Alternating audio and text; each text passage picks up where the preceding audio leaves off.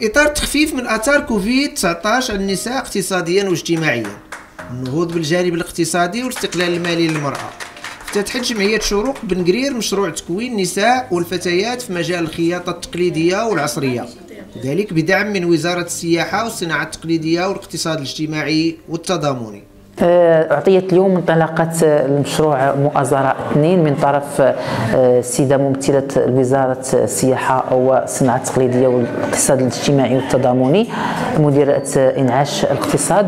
هذا آه، المشروع هذا اللي تيدخل في إطار في إطار النهوض ب يعني بالوضعية الاقتصادية للنساء وخاصة النساء في وضعية هشة. كان هذا المشروع هذا اللي إحنا في جمعية شروق استفدنا من النسخة الأولى المؤازرة الأولى اللي كانت من خلالها تسلمنا معدات المطبخ والمعدات يعني اللي اللي تكون بها تكوين الحرفي للنساء في مجال في ميدان الطبخ.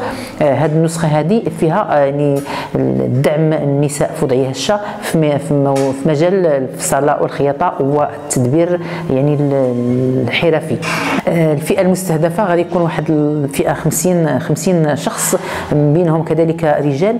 كاينين اللي غيستافدوا بصفة مباشرة وغير اللي غيستافدوا بصفة غير مباشرة. تسلم جمعية شروق لمجموعة من آلات الخياطة من وزارة السياحة والصناعة التقليدية والاقتصاد الاجتماعي والتضامني. سيكون من شأنه تعزيز المكانة المهمة التي بات يلعبها مركز شروق المتعدد الوظائف. مما سيفتح المجال أمام المستفيدات من أجل ولوج سوق الشغل. جيت كنتعلم كان باغي نستافد كنخدموا جليلبات كسيوات. كنديروا هذا المنتوج باش نبيعوهم آه، باش ندوروا الحركة شوية. كنشكر جمعيات شروق اللي عطاتنا هذه الفرصة باش نديروا هذا التكوين إن شاء الله. هذا وتراهن وزارة السياحة والصناعة التقليدية والاقتصاد الاجتماعي والتضامني.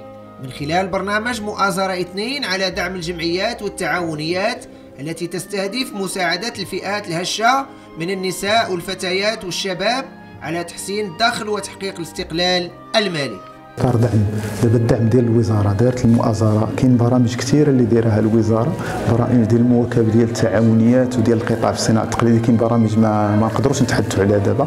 غير هذا هذا المشروع كما كنهضروا عليه اللي حاضرين فيه هو مشروع ديال المؤازرة النسخة الثانية. هذا اللي كيهتم كيساعد الجمعيات اللي كيهتموا بالمواكبه ديال النساء وديال الشباب اللي باغيين يديروا مشاريع ديالهم وما عارفينش كيفاش يديروهم. هادو كيتعطاو واحد البرامج اللي كتكون سنوية. الثانويه وكاين إن شاء الله راه دابا الوزارة خدامة على مشروع ديال المؤازرة النسخة الثالثة. وتا هو موجه لهاد التكتلات لا الجمعيات ولا التعاونيات باش يديروا مشاريع مديرة للدخل لفائدة دوك المنخرطين ديالهم.